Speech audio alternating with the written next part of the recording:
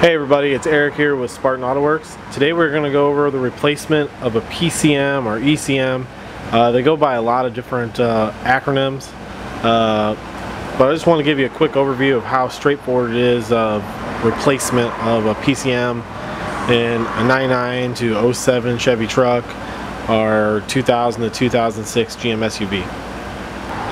Alright, so here's the replacement PCM that we're going to be using. It's an 0411 PCM, which doesn't really mean a lot to a lot of people. Um, but to tuning people, the 0411 is a popular PCM because it's got more memory and uh, I believe a faster processor. Um, but that doesn't really matter. When you call us, what we need is your year, make, and model. If it's gas or diesel, also you need to let us know if it's hybrid um, to make sure we have the right PCM in stock. If we do, we can flash it to your calibration. Uh, we also use the latest GM uh, updated calibration when we flash out to you, so you are getting the freshest update. Um, when you get it, it's pretty much a simple plug play install. Uh, my security, which we're going to touch on here in just a little bit. Uh, I'm going to move the camera around. I'm going to show you what has to be removed and get the install started. So on the driver's side, Next to the battery, you'll find the cover for the PCM right here. It's held in by two clips. The easiest way to get this off is just to grab it from the back and you kind of got to push down and then pull up and it will release the back clip and then it slides right out in the front. So I'm to go ahead and do that now. Alright, now that the cover's off, you'll see you have two connectors. Uh, on this particular one, one's to be blue, one's to be red if you have an O3 up, one's to be blue, one's to be green. I could be doing these backwards, but it doesn't really matter. Um, you'll have one extra little clip right here that's what holds it into the actual holder or PCM into the holder you'll have two screws or two bolts that hold it into the PCM itself and you'll need a 7 millimeter uh, socket. Uh, go ahead and take those off or take the bolts out and then you can slide the connectors off. Alright so we've got the uh, connectors unbolted from the P PCM itself. One thing I'd like to point out is there's a rubber seal, orange rubber seal that's on the inside of these uh, these connectors. Uh, here in a minute I'll grab another one and show you what they look like but most of the time when you go to pull them off they're so compressed and sticky they actually stick onto the PCM themselves. Uh, my suggestion to put them back instead of I've seen some people try to put them back on here and then throw the the plug or the connector back over the PCM and try to get them to go that way.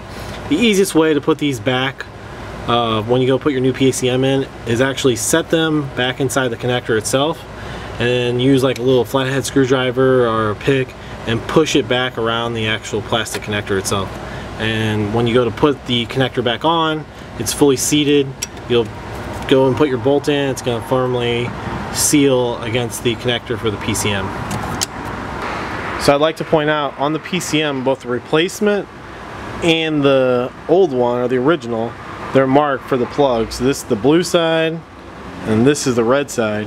Now when this goes in there, it only fits one way inside the holder. It's going to fit just like that. And then the way the wiring harness is kind of formed, basically those plugs are only going to be able to go in one way. Uh, I'm not saying it's not possible or you couldn't get them backwards, but if you ever need to confirm it, it's marked on the actual PCM itself. And I'll go ahead and show you here in a second on the connector itself. They have blue and red or blue and green caps that cover the actual connector.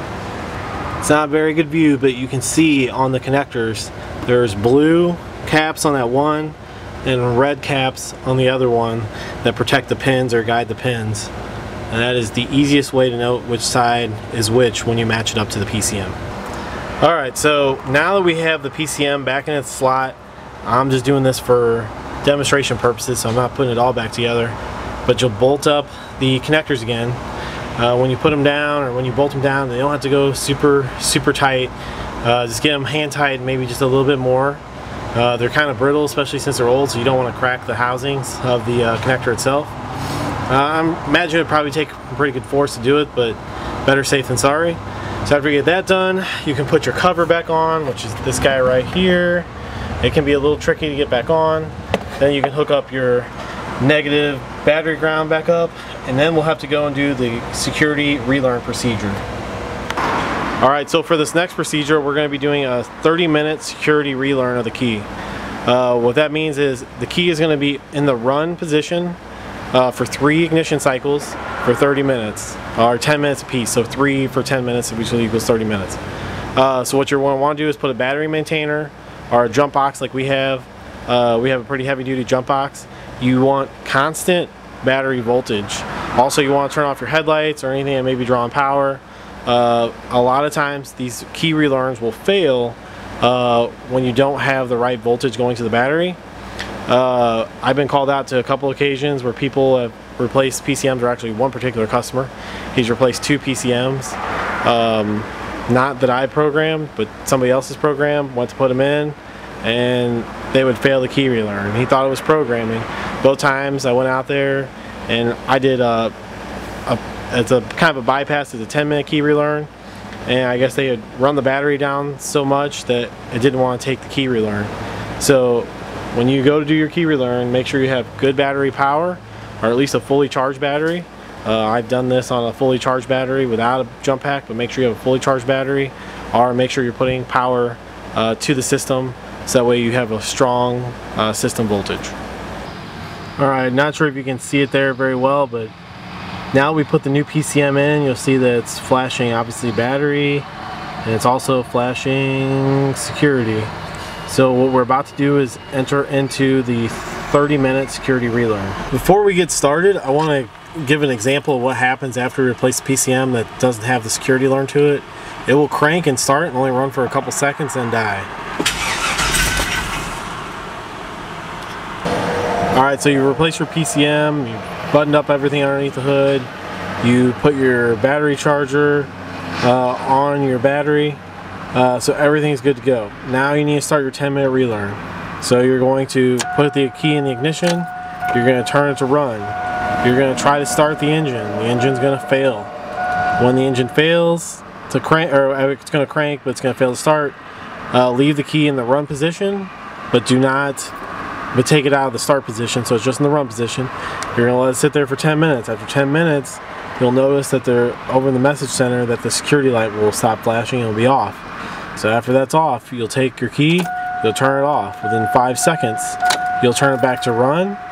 You'll wait another 10 minutes. After 10 minutes, the security light will be off in the message center. After that 10 minutes, you turn the key back off, you turn it back to run. You'll wait another 10 minutes. This will be the end of your 30 minute relearn. So after the end of this third third turn, the security light will be off. Once the security light goes off, this is where the security relearns to the PCM. You'll cycle the key back off, within five seconds, you'll turn the key, try to start it, and it'll crank right up. That's all there is to the PCM replacement. Now, if your PCM has not been programmed, uh, you'll need to either put the PCM and have it taken to a dealer or somebody that can actually flash it with the SPS service from General Motors. Uh, or you'll have to send it out to somebody who can flash it.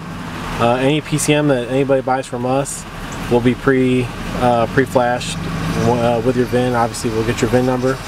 It'll be pre-flashed, ready to put in. The only thing that will be required is this 30-minute relearn.